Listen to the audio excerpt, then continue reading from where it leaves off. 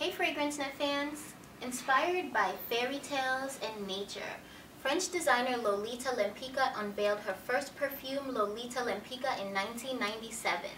This mythical creation blends vanilla dip licorice with fresh greens, light florals, and a rich musk.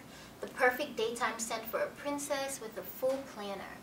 If you like this video, subscribe to our YouTube channel and be sure to check us out on Facebook and Instagram for fun contests and giveaways.